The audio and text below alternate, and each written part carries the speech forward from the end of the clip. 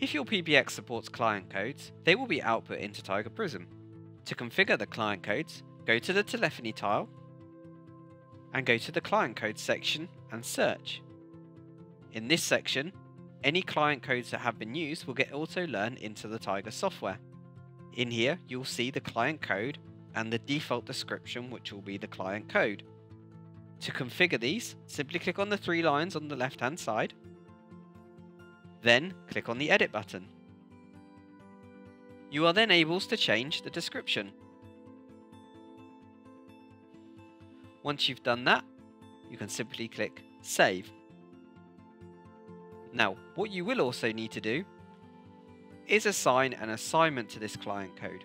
So, to do this, you click the edit button again and click on the plus button.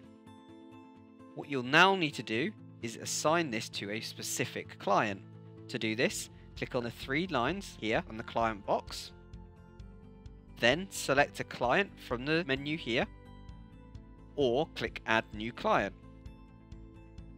In here, you will then need to give your client a name. Then simply click OK.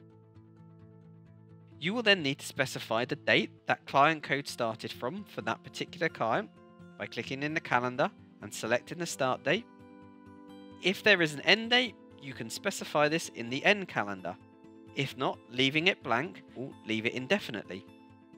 If this client code then gets moved on to a new client, if you click the plus button at the top here, it will then create a new section. In here, what you'll then need to do is set the end date for the old client, then set a new start date for the new client,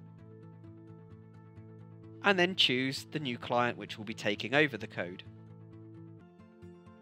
Once you've made these changes, simply then click Save. Once you've created all these client codes, the client codes then become available in the client code summary report, or they become available in analytics under the client, client code, and client code description fields. In here, you will be able to see that information against those client codes. Also, under the client code reports will be any unassigned client codes. So these will be client codes that you have not gone in and set an assignment for. So here we'll give you the client code and the description, but you have not gone into the client code and set an assignment. So in this example here, you will need to go and select 100.